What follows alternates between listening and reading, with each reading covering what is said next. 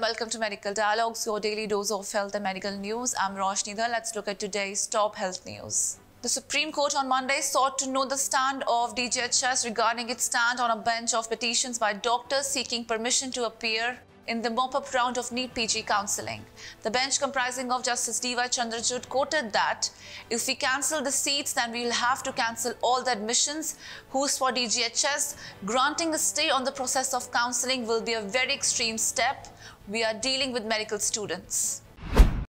That's all for today. Stay safe.